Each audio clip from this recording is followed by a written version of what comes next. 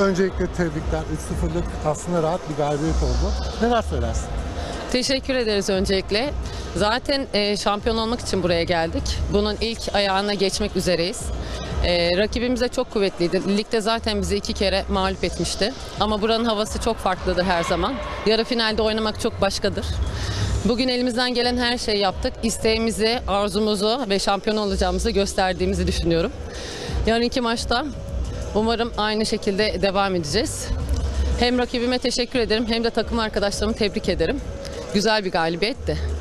Aslında yarınki maçı soracaktım. Sen cevaplamış oldun ama kazanırsanız herhalde final için %75 tamam diyebiliriz. O maçla ilgili neler söylersin? Yani hiçbir rakibi küçümsememek gerekiyor. Çünkü top yuvarlak bir bu bayan bir voley, bayan voleybolu. Yarınki rakibimiz de iyi. Kimseyi küçümsemeden her takım ciddiye alarak yine aynı şekilde sahada olacağız.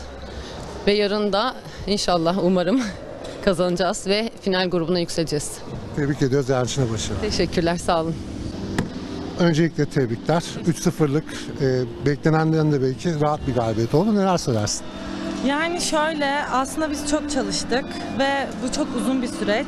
Hani Nevşehir'e biz lig içinde iki kere yenildik ama bence bir takımı kaç kere yendiğin değil de doğru yerde yenmek daha önemli. Biz onu başardık, çok çalıştık ve bugün galibiyet için çok mutluyum. Aslında kolay bir galibiyet değil, onlar da savaştılar ama biz o baskıyı onlara hissettirdik ve e, düşündüğümüz fikirlerimizi, çalıştığımız her şeyi çok iyi bir şekilde yaptık. Ve bu yüzden böyle olduğuna inanıyorum. Yarın Göztepe ile oynayacaksınız. Kritik bir maç. Kazanırsanız belki finale çıkacağınız da anlamına gelebilecek bir maç. Neler söylersin?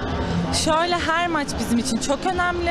Ee, yarınki maç ve sonraki günkü maçta biz yine e, çalışmalarımızı yaptık ve yapmaya devam ediyoruz.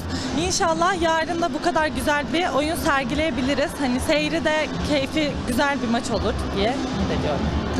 Bugün için tebrik ediyoruz. Yarın için de başarılar.